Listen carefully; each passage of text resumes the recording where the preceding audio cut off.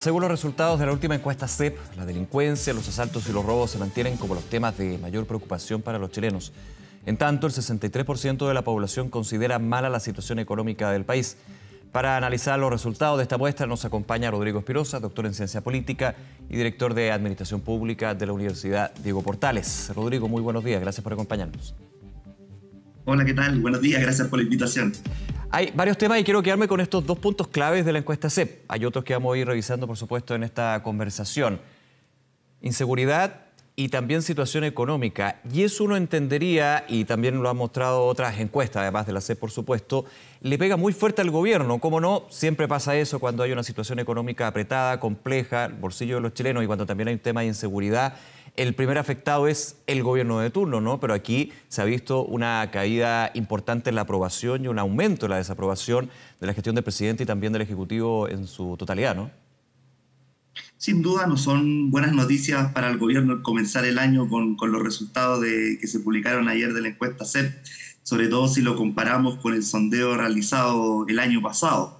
Eh, pero además también lo interesante de esta encuesta es que efectivamente, además de los sentimientos de pesimismo de la opinión pública, el otro punto interesante es que los énfasis están efectivamente en lo que es la economía y también en lo que es la seguridad o delincuencia dos temáticas que dicho sea de paso no le son muy cómodas a la izquierda y que habitualmente tienden a ser temáticas o tópicos que suelen estar más en la agenda de la derecha, así que probablemente la, ahí los puntos en la agenda legislativa dentro de lo que se venga en estas materias, la derecha sin duda alguna va a tener algo que decir más todavía si miramos la evaluación positiva de las figuras donde quienes han crecido efectivamente son el mundo de la oposición, donde estamos mirando que, por ejemplo, Evelyn Matei, Germán Codina y José Antonio Casas han tenido un crecimiento importante en comparación al sondeo anterior. Así que la verdad de las cosas es que es una situación bastante incómoda para el gobierno, más si miramos, dicho sea de paso,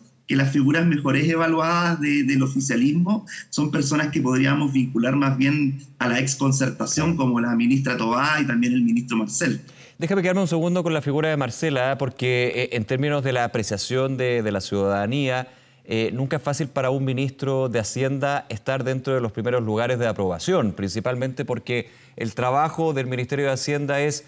gastar lo menos posible, ser más austero eh, y, poder ir en contra, digamos, de lo que eh, popularmente es, mejor llevado, digamos. Aquí eh, el ministro de Hacienda aparece en el tercer lugar luego de alcaldes como la alcaldesa Matei y también el alcalde Codina. Y en una situación donde veíamos que la percepción de la ciudadanía sobre el curso de la economía es mala. Igualmente hay una buena valoración del ministro de Hacienda. ¿Cómo se puede explicar eso? Sí, la verdad de las cosas es que una de las principales virtudes del ministro Marcel, en primer lugar, ha sabido cohabitar una coalición tan heterogénea como es hoy en día el oficialismo.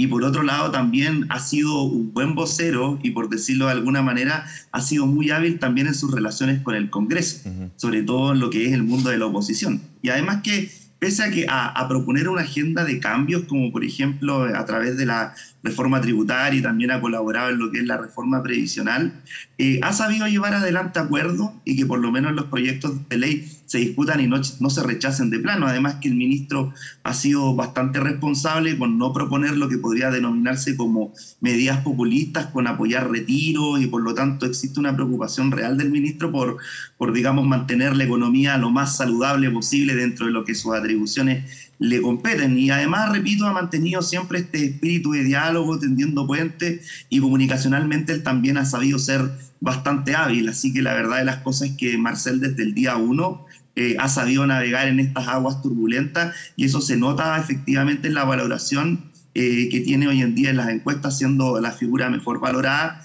lo cual es muy raro para un ministro de Hacienda, como bien planteas, el, el tener una exposición política tan, tan explícita. Claro. Rodrigo, déjame volver a un punto que tú mencionabas, a eh, temas que son las urgencias, que son lo más importante para la ciudadanía, que se reflejan en estas cuentas CEP y en otras encuestas que hemos revisado durante los últimos meses, como son economía y seguridad. Y tú decías, no son temas eh, de, por sí cómodos para eh, la izquierda y principalmente para el gobierno. Esto también se nota si uno hace la evaluación bastante a la rápida, digamos, pero bien, bien clara en términos de cuáles han sido las urgencias del gobierno del presidente Gabriel Boric con respecto al primer semestre del año pasado y ya entrando al segundo, cuando hay cambios de gabinete, cuando entra con fuerza el socialismo democrático. El tema seguridad, combate contra la delincuencia era uno que en el inicio de este gobierno estaba, por supuesto, pero no en el primer nivel de las urgencias y de necesidades de cambios y por sobre todo de soluciones, ¿no?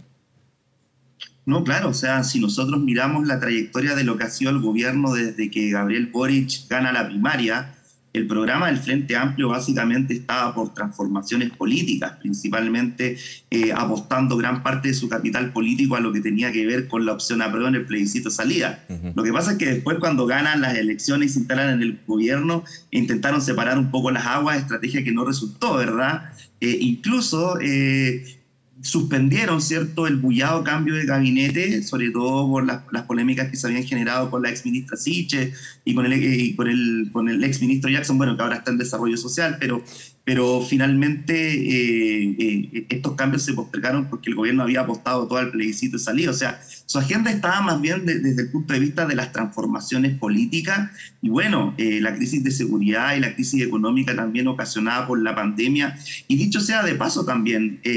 cuestiones en seguridad que no se abordaron durante el gobierno anterior han puesto al gobierno sin duda alguna entre la espada y la pared y esto lo ha tenido que llevar, ¿cierto?, a, dar vuelta a los énfasis en la agenda y además la encuesta CEP es muy clara en un punto que hay que, hay que ser, digamos, bastante conciso. O sea, la, encuesta, muestra que el octubrismo ya fue, en el sentido de que no todas las fichas de la ciudadanía están puestas en, la, en, digamos, en el cambio constitucional, eh, queda la sensación que el, que el momento constituyente ya pasó después del plebiscito de salida y finalmente lo que le preocupa a la gente son sus condiciones materiales de corto plazo y también sus condiciones de seguridad. Por lo tanto, creo yo que acá lo que va a ser sustantivo, eh, y esto está muy vinculado a la polémica que surgió por el tema de los indultos, eh, cómo se va a llevar adelante el gran pacto que había, ¿cierto?, en materia de seguridad y sobre todo la capacidad que va a tener que tener, disponer el gobierno y la expertise pues, en cuanto a cómo enfrentar otros temas también vinculados a lo que es el crimen organizado. Así que la verdad es que una agenda bastante compleja eh, y ahí estamos viendo efectivamente que el gobierno está navegando, digamos, por aguas que bastante turbulentas que les resulta muy incómodas. Y bien turbulentas desde, desde lo más profundo de lo que es la situación del país, porque si uno ve otros resultados, hay muchísimos que entrega la encuesta CEP, eh, esto es bien preocupante. Se, analizaba mucho el día de ayer. 12 puntos cae la valoración a la democracia y 19% de los encuestados de, de, CEP dicen que el autoritarismo podría ser preferible. O sea, estamos hablando de eh, por varios elementos, no solamente lo que hemos estado comentando, pero eh, ¿qué puede ir marcando esta, esta situación? Es una encuesta, es una fotografía del momento, pero claramente que haya un grupo cercano al 20% que prefiere el autoritarismo, ¿qué te, ¿qué, te, dice a ti eso? No, es extremadamente preocupante cómo ha caído significativamente desde 2019 el apoyo a la democracia. Mm. Eh, bueno, 2019, para, ser justo y también entendiendo que de 2019 se da esta valoración de la democracia que cae, no cae a niveles críticos, digamos, pero que muestra una tendencia y se genera en este punto que estamos comentando. Claro, efectivamente, hoy nos encontramos en el punto más bajo de la valoración sobre el apoyo a la democracia. Eh, y obviamente esto es extremadamente preocupante porque, bueno, cuando tengamos la base de datos vamos a poder relacionar a qué está vinculado, pero a priori uno podría pensar que esto eh, está asociado principalmente a la poca valoración que hay respecto al funcionamiento de la democracia en cuanto a como sistema capaz de proveer bienes públicos que la ciudadanía demanda. Y esto puede darse también con, con la alta expectativa que ocasionó en su minuto el proceso constituyente, donde finalmente la opinión pública eh, digamos, no se vio satisfecha no solamente con la propuesta de, nueva constitución que se rechazó, sino que también al trabajo de la convención constitucional. De hecho, si uno mira las causas en esta encuesta mediante mm. las cuales la gente rechazó tiene que ver no tanto con los contenidos, sino que en primer lugar figura el trabajo de los constituyentes, donde ahí se apostó por el mundo independiente, se apostó por la renovación de la política, se hicieron bastantes innovaciones en materia de participación y finalmente todo resultó, digamos, en una ciudadanía que terminó profundamente decepcionada y probablemente eso ayudó además a, que el momento constituyente se diluyera hoy en día, pese a que hay un acuerdo político que terminó despachándose en el Senado. Así que creo yo que acá más que nada eh, la preocupación está en también identificar las causas y ojalá que se pueda trabajar básicamente en, tratar de invertir las cifras, porque es bastante preocupante que, el autoritarismo vaya ganando fuerza, sobre todo porque esto puede ser caldo de cultivo también para fuerzas populistas que intenten eh, socavar transformaciones que se han venido eh, realizando desde el retorno a la democracia. Sin duda alguna sería, sería un retroceso, pero además esto se da igualmente eh, por, los sentimientos negativos que hay respecto a lo que es la economía y también los temas vinculados a seguridad, es decir, una valoración transversal de que la democracia está funcionando mal, lo cual es bastante preocupante y de verdad yo creo que la clase política tiene que poner énfasis ahora mismo en, trabajar y estar a la altura de las circunstancias porque estamos en el peor momento de la crisis de representación en que, que venimos, digamos, eh, enfrentando desde el año 2014 cuando salen los casos de financiamiento irregular de la política. Un desafío en ese sentido, Rodrigo, para lo que va a ser el nuevo proceso constituyente, siempre a la espera de lo que va a ser el trámite legislativo de la reforma, pero ha ido bastante eh, rápido, digamos, como se esperaba, debido al acuerdo eh, que se generó pero en ese sentido eh, ya tiene una experiencia que en la misma encuesta CEP se hace un capítulo especial sobre la elaboración de por qué votó apruebo, por qué votó rechazo en el plebiscito ratificatorio y el trabajo de eh, finalmente lo que fue la Convención Constitucional. Ese es un desafío en términos de que va a ser un proceso distinto, no por eso bueno o malo, habrá que verlo y los resultados hablarán por sí solos finalmente, eso es lo que importa, pero en ese punto eh, hay un desafío importante, ¿no? Y también de cómo el mundo político, social va tomando esto, ¿no? No, efectivamente. Lo, importante acá es que, a ver. Como una parte, porque también. Y, perdona, me faltó algo. Eh, también como una parte, porque de hecho, si uno compara la expectativa y la atención de la ciudadanía con respecto al primer proceso constituyente, lo que fue la discusión en el Congreso de este segundo paso, digamos, eh, cambió eh, radicalmente y